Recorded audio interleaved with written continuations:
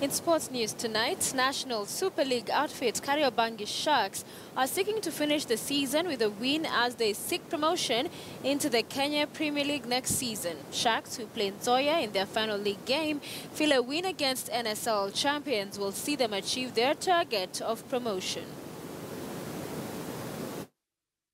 Kariobangi Sharks' efforts of getting promotion into the Kenya Premier League in 2017 seem likely, with the Thika Road-based club a win away into the top tier league. Sharks began the season on a low note but slowly picked themselves up and now they lie second on the log with 80 points, 12 points adrift log leaders Nzoia Sugar. Uh, initially hatukuanza poa. Ukiangalia first leg record yetu ilikuwa ilikuwa mixed sana, tulikuwa tuna draw win draw, yani hatukuwa consistent na tulianza on a low note but uh, ile time tulianza kushinda nadhani kila mtu aka gain confidence. With the team boasting the experience of former Premier League players such as Ibrahim Kitawi and Patila Omoto, the team feels competition in the Super League is much higher. ni step ya kufika hapo Premier League step moja.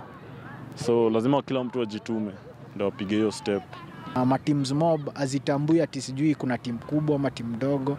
The same uh, timu unapatana nayo imefunga timu kubwa, next game inafungwa na timu ndogo. Sharks dispel the perception that they have been getting favors in the league. hey, game zetu ni ngumu sana tungekuwa tungekuwa tuna, tuna get favors nadhani tungekuwa number one kutoka day one tungekuwa number one uh, lakini game zetu zimekuwa ngumu tuna lose tuna draw but hakuna favor tunapata The Thika Road Base club will be seeking to continue with the unbeaten run in the second leg of the league when they face league winners Nzoia in their final game. kwanza, by the way walitufunga walitufunga home Alitufunga home, lakini mimi naweza sema itakuwa very different this time, kama watakam na ile idea ama mind yenye tulitufunga first, first leg then watakuwa surprised.